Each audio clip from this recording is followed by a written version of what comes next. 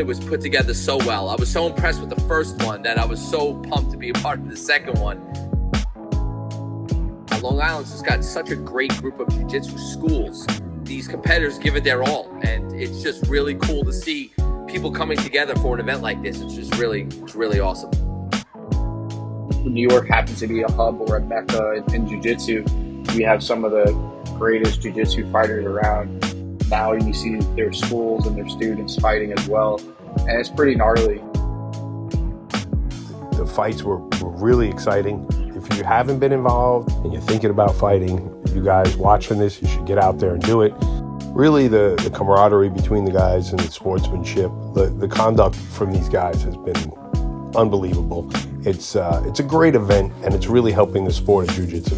It's going to help everybody. Every professor is going to benefit, every student is going to benefit.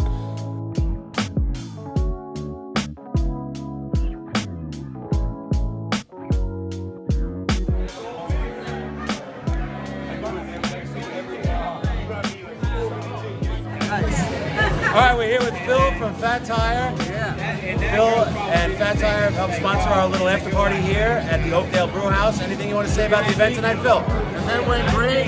Can't wait to maybe one day uh, compete in it myself. We'll see. All right, excellent. Join the after party.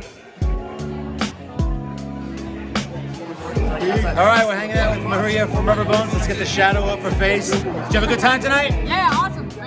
Awesome. One of our favorite sponsors. She's great. You guys have to check out all her stuff. Her rash guards are sick. Skeletons and garbage pail kids. That's the way I describe it. She's amazing. Check it out.